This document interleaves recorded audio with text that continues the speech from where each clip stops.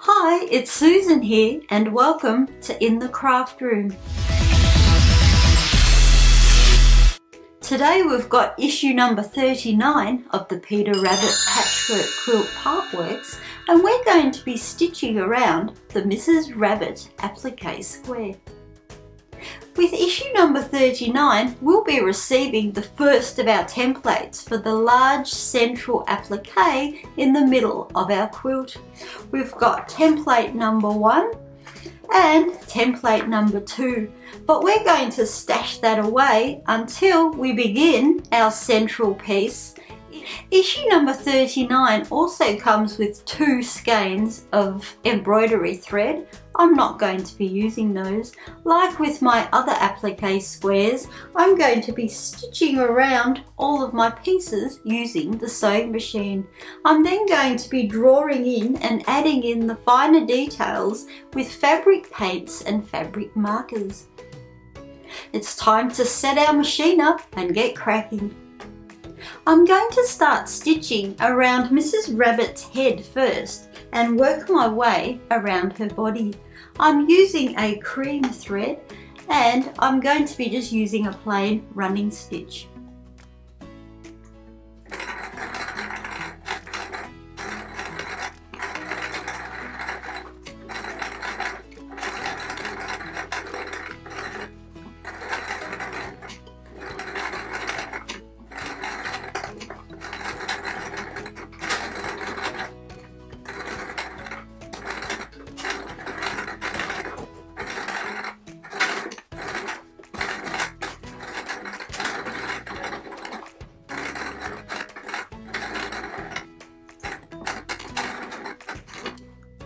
So all of Mrs. Rabbit has been stitched around.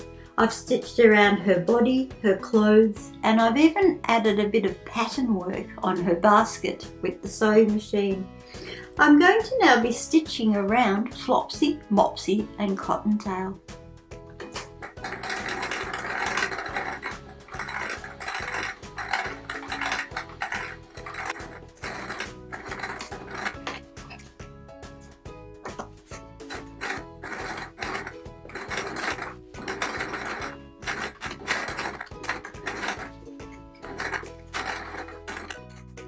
I've finished stitching around all of the applique pieces. I've used a drawing with thread approach, a really relaxed spontaneous stitch. But before I pack my machine away, I'm going to be sewing these little floral motif daisies around my applique scene.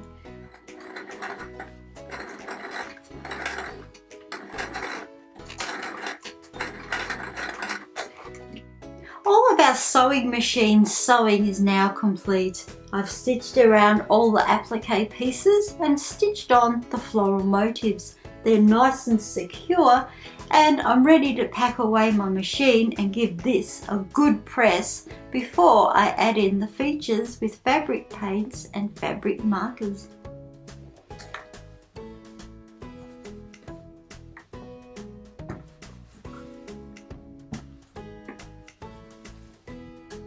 Our applique square has had a good press. I'm going to be using the guide as a reference for all of the facial features of our bunnies. I'm also going to add the handles of the baskets and the bag. I'm using my fabric markers and I've also got some fabric paints as well which I'm going to add in using my pencil. I'm first going to mark in everything lightly with my pencil.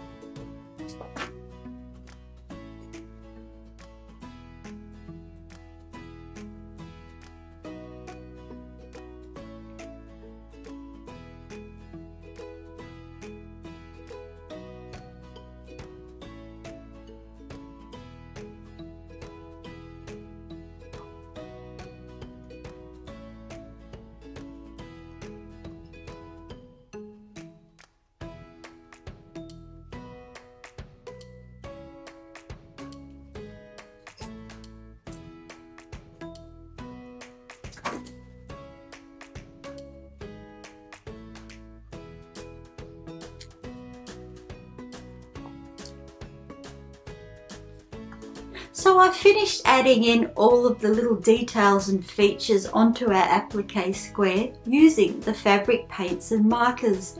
I'm going to now let it dry and then give it a good press to seal in all of our paints.